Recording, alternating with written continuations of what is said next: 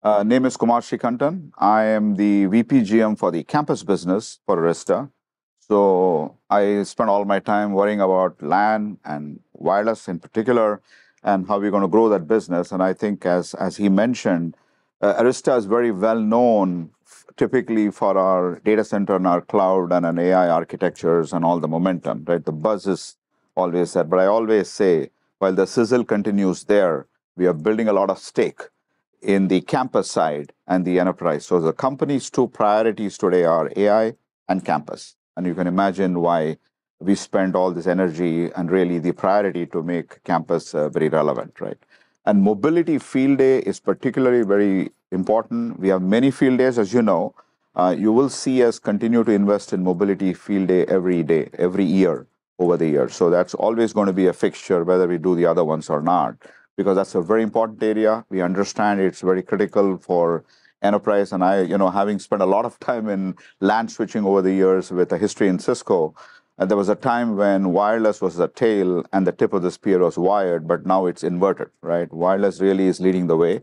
So that's the real, that's the priority that we have, and that's the reason we are here. Okay. So a couple of things uh, in terms of the agenda. So I'll just kick it off, and then we'll have a very interesting topic with Ken. You heard him last year about uh, about quality and how we build our architecture and technology around EOS. But today he's going to be focused more on wireless, and this is a very interesting topic to be to be discussed. Then we have a number of oohs and ahs moments with the demos uh, around Wi-Fi 7, around UPSK, Agni. There's a number of technologies we can hopefully get through the uh, the the month, which brings the whole portfolio together. Okay. All right. So a couple of things. Um, just stepping back from a LAN and a campus point of view, uh, Arista's growth today in campus, uh, like I see mentioned, we do occasionally get we didn't know you guys do wireless or we didn't know you know you're just doing the wired business you know but that's not true anymore. Uh, this year we are growing literally greater than 30% in wireless year to year already. We are on a roll. And our entire campus business is growing north of 50% so just to give you a sense and we see waves and waves of customers coming out of the incumbents looking for an alternative so the momentum is there we tend to do much better as uh, just to give you a view on the enterprise side of the house. So franchise deployments, large scale, distributed campus, large headquarters. So you see us more and more, I call it on the G2000, the Global 2000 and the Fortune 500 class accounts. That's kind of where we have most of our traction because of the way we run the sales playbook. A couple of things uh, you probably heard from uh, from Ken last year some of the key principles that we apply to our wired and Arista, I call it the X factor, is also applied to wireless. Number one, do more with less, right? Don't reinvent wheels. Don't try to do the same technology twice over. Good example, our CloudVision management platform is the same management platform, whether it's on-prem or off-prem. Our new identity system called Agni, Arista Guardian for Network Identity, is the same stack on-prem uh, oh, it started in the cloud, and now we are announcing the on-prem version. Same stack, don't balkanize the architecture, build one singular architecture that can take it across the spectrum.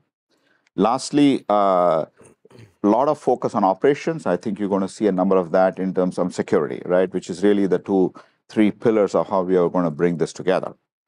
Now, uh, in terms of very specific to wireless, right?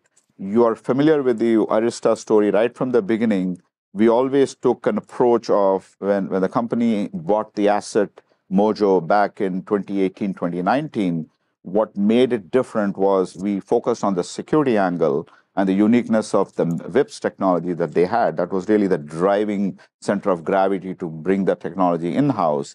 And eventually that became the wireless portfolio. And here we are with a broad spectrum of capabilities. Now, one point I would make in that is that that particular WIPS technology with the with the radio. Today we have this feature. You see that dedicated tri-band multifunction radio.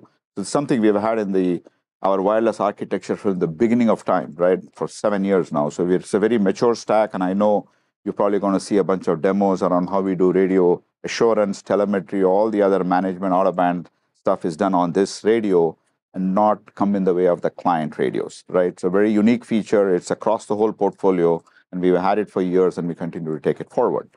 The only other couple of points I would make is, as you know, the Arista's approach for wireless, just to recap, is to disaggregate the stack, take the management layer, integrate it into CloudVision, which are overall wireless singular platform for the company, take the control plane of the AP, leave it on the AP.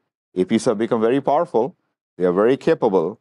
And there's a lot you can do on the APs, including running a mini firewall, application QoE. The APs are, can be leveraged to the hilt so that we scale with the number of APs and as the radio technology scales, and we don't monkey with that, right?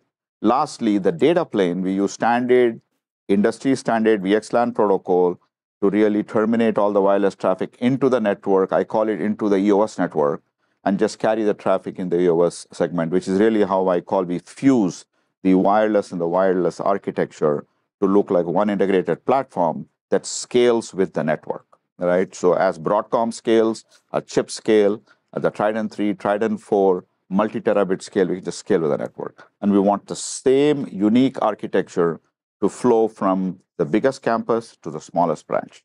As long as you have a switch and you have an AP and you have a CloudVision, you are integrated in. So that's the idea. Just a no controller architecture. Couple of other things which you'll see is app QoE, very important element. You spend a lot of energy really capturing those signatures of the traffic that come into the AP and then match it in the cloud uh, in the AIML engine to be able to sort of classify the class of traffic, whether it's a, a Zoom call or a, or a, a Google uh, video call. How do we really make sure that we give that experience and really get ahead proactively of problems that come in the network, notably in collaboration? Right? I think we all know in wireless, the, the troublemaker can always be uh, collaboration uh, um, applications is where uh, you can get into trouble, right? So I think there's a lot of energy spent to make sure that that technology comes to bear, right? And lastly, uh, obviously, cloud managed and on-prem managed. One other thing you will see in this slide, which is new from last year, is the EOS software agent. So we are bringing more EOS agent services like .1x, Identity, VTAP, all those stacks natively onto the into the AP. The goal being eventually the AP looks like nothing but an extension of the EOS network, right? And we get all the benefits of large scale validation of all the stacks, the regression, all the stuff that Ken and the team have built so that we get the full scale testing and be able to really set it up for very large scale domains. And as you know, a lot of wireless, especially in universities, higher ed, large layer two domains still dominate a lot of deployments. And really, we want to make sure that we bring more and more EOS functionality into the AP and take it in that direction so that the whole architecture is unified.